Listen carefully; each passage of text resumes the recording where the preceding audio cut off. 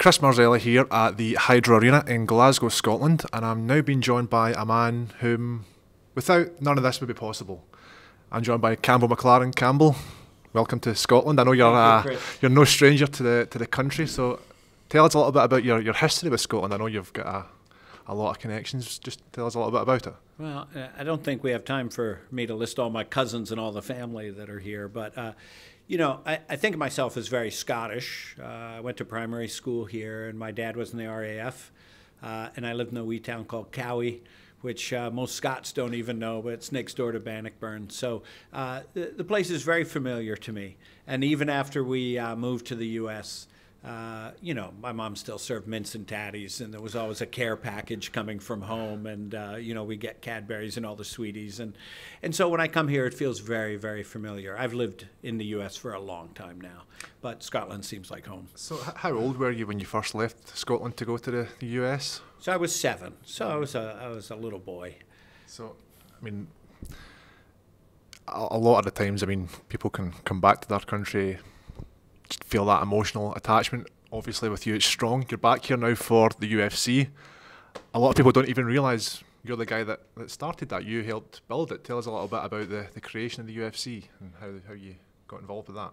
Yeah, well, I, I, I do want to add. I told my wife that if Scotland ever declared its independence, we would move back.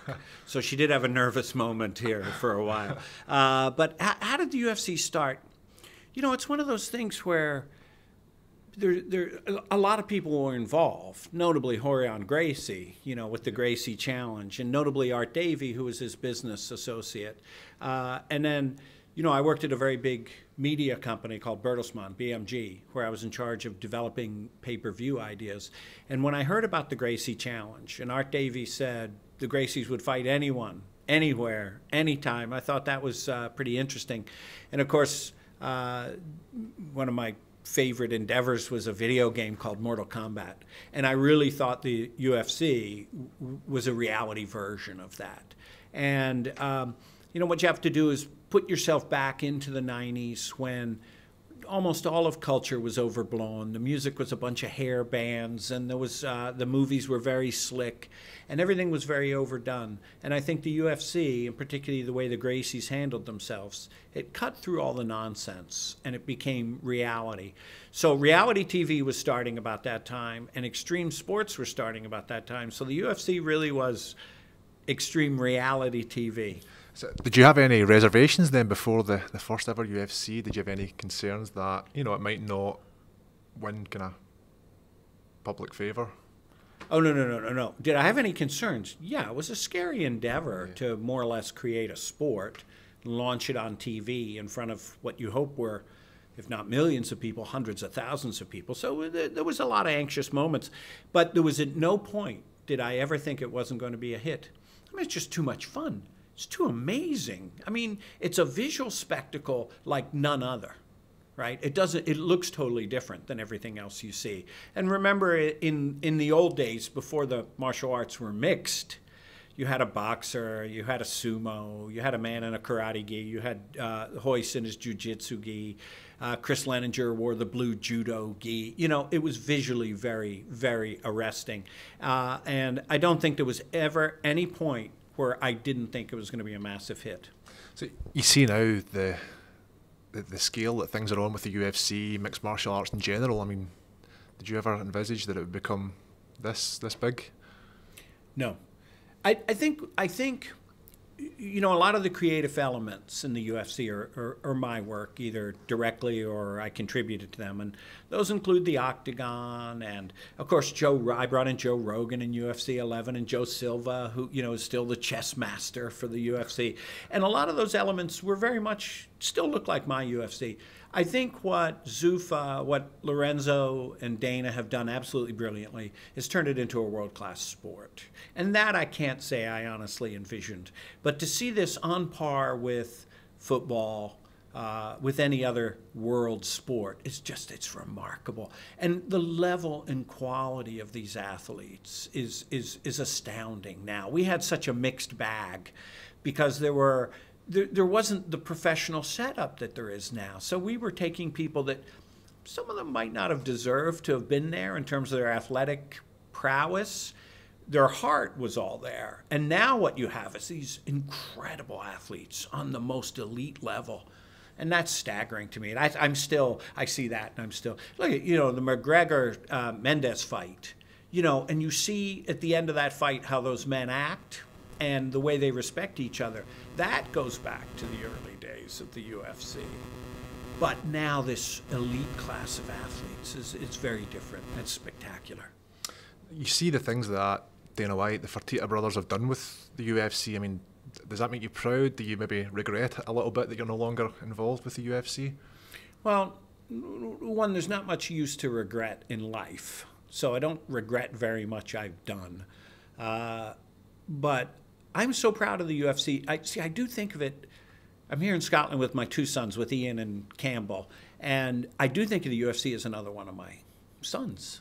You know, I really do think of it as mine, even if I have no stake in it financially uh, these days, and if I have no uh, uh, professional connection to it, but I still do look at the UFC, and I'm so proud. So uh, I'm in awe of what Dana and Lorenzo have accomplished. Uh, but I'm I'm I'm I'm glad, and it makes me again. I just it's proud. I see the billboards in Times Square, and I think, ah, it's amazing.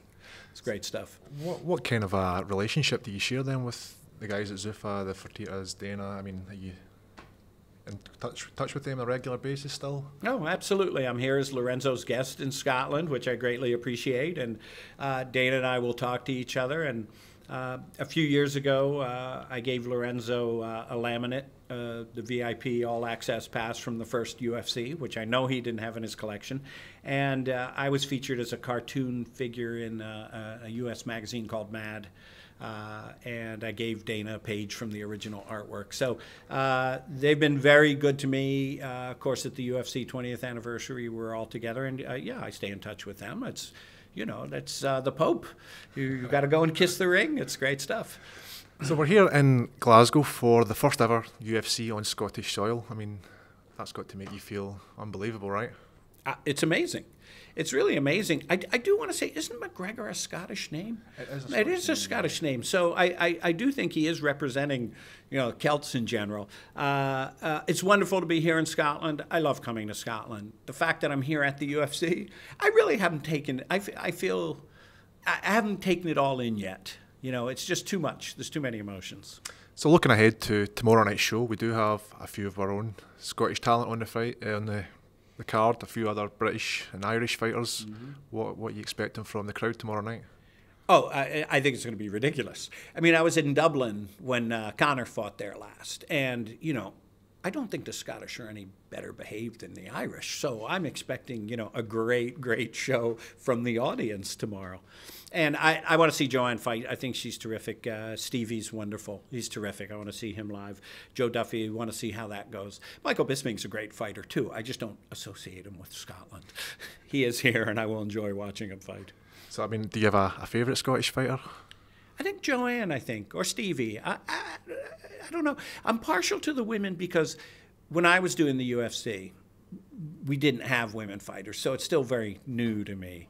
And uh, I'm doing something now called Combate Americas, which is a, a Hispanic uh, uh, MMA franchise. So it is made literally for the Spanish fight fans in the U.S. And uh, the Spanish fight fans, their martial art really is boxing. So I feel like I'm introducing a whole new sport to a whole new group of people there as well. And I think that's what women have done as well in the fight business, particularly Ronda. They brought in a whole new group of fans that maybe wouldn't have paid this attention. So I, I do like to see the women fight. And you know what's interesting is I, I, I haven't been to that many UFC weigh ins because if you remember when I was doing the UFC, we didn't have weight classes for a lot of the time. So a weigh-in is still uh, fairly novel for me at the UFC. So you touched on Combat America. Uh, tell us a little bit about that. That's obviously your new pet project. Well, I, I hope it's more than a pet project. Uh, I'm in business with uh, NBC, which is a huge American TV network, uh, with DirecTV and uh, uh, um, a number of people like Major League Baseball and Creative Artists Agency are owners in the company. We've been doing it for two years. Last year, our reality series won uh, Best Reality Series Award, uh, the Hispanic Emmys, uh, Emmy Awards. Uh, this year we go on live September 17th, the day after Mexican Independence Day from Las Vegas. Uh, I think we've got some great new fighters. Joe Silva said he's tracking them already. Um, and I think you'll see a different style to it. You know, MMA is a style. UFC is a style of fighting now. It doesn't mean it's the only style of fighting. Uh, and I think what you'll see with uh, the Combate Americas fighters coming out of more of a boxing tradition, I think you'll see more of the boxing uh, techniques brought into it. And obviously, the UFC are now expanding. We saw them go to Mexico City. Is that competition for Combate America? Is that, I mean, what, what do you view the UFC as in, in Mexico? Um, well, Chris, keep in mind this is a it's culturally it's a little hard to explain this. There's 60 million American Hispanics in the U.S. 60 million people that consider themselves Hispanic or speak Spanish. That's a country in and of itself. So Mexico, Colombia, Venezuela, they're, they're out of my reach. I'm targeting Americans, American fans, right? Hispanic. You know, uh, uh, there's a Canadian MMA journalist uh, that's fairly well known. I don't want to embarrass him, Ariel Helwani, but he asked me if I was targeting Latin America. And I said, you know, Ariel, there's three times as many American Hispanics as are there are Canadians. So this is a big group in and of itself. I am happy to just reach out to this American group. Uh, the UFC's done amazing in Mexico. I think it might be more popular there than it is in Ireland. Talking off camera earlier, you're going to stick around in Scotland, do a little bit of sightseeing with, with the family. What's what's on the, the itinerary? Well, you know, uh, I am a Campbell. My mother's family uh, were Campbells, so I like to go to Glencoe, where my ancestors put on a great massacre that's still remembered fondly to this day. So we'll go to Glencoe, which is a favorite part of Scotland. We're going to be up in, uh, we're going to stay in Ballachulish. We're going to go to Skye. So uh, my sons love Scotland too, and we're just going to tour around. We're going to be tourists there. I, I, feel like a tourist here to a great extent, even though it's the UFC. It still it feels funny to have it here in Scotland, uh, enjoyable, but a, but a little bit strange. So um, after the fight, we'll just continue to be tourists I go back to the U.S. great with Campbell. Thank you very much for your time you, and enjoy the fights tomorrow night.